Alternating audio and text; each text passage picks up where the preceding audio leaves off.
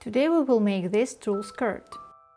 I will now work on the hole for the elastic band. I mark these lines along which I will now sew zigzag seams. These seams will help keep the satin from fraying. So I sew the seam allowance along with the lining with one zigzag seam.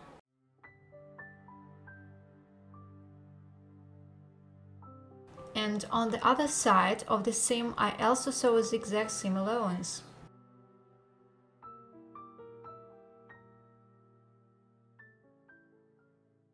Along these lines there will be a hole for the elastic band.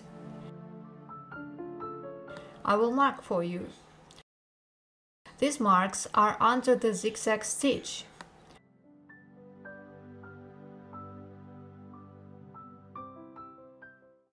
I cut with scissors according to these marks.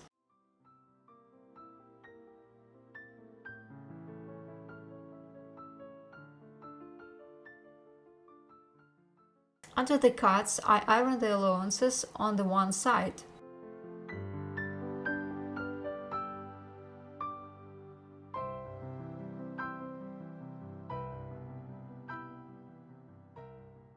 I cut off both seam allowances so that 2 mm seam allowance rem remains.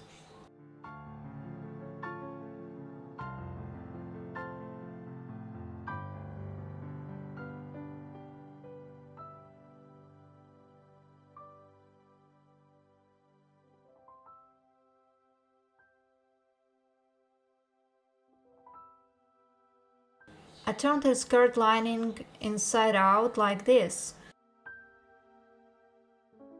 And now I iron like this.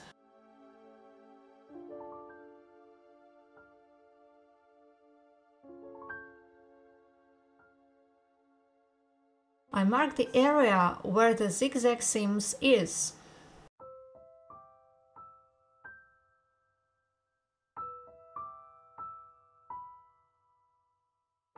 I sew a regular seam, focusing on the width of the foot of the machine.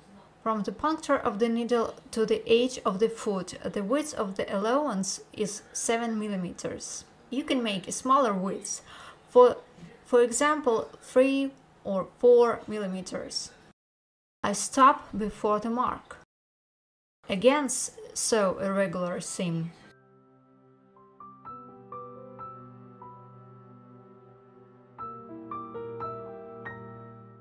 And in the area after the next mark I sew another 1.5 centimeters and make a seam in the opposite direction and I complete this seam with a regular seam.